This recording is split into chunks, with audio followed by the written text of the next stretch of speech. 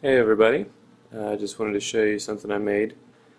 I'm calling it like a poster type thing, not sure, but uh, it's remote activated so you just turn it on and it kind of just starts to go.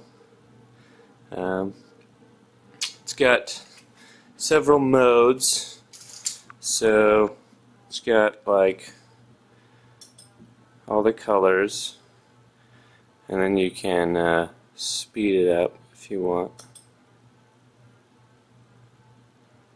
So like as fast as you want.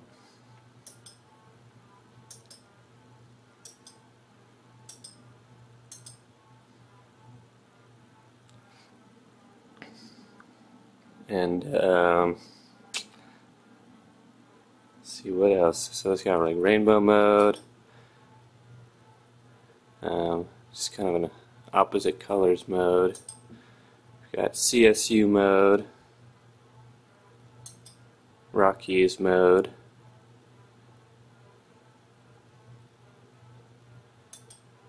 and uh, one other mode.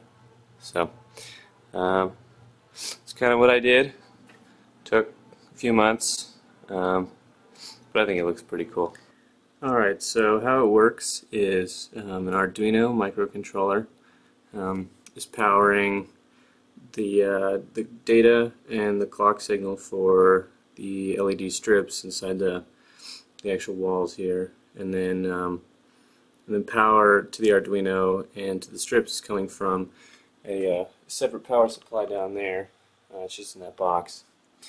And uh, the Arduino itself is hooked up to um, potentiometer and a button. So the buttons for changing colors and potentiometers for controlling the speed. Um, and the rest is obviously uh, software, so you know color modes and things like that.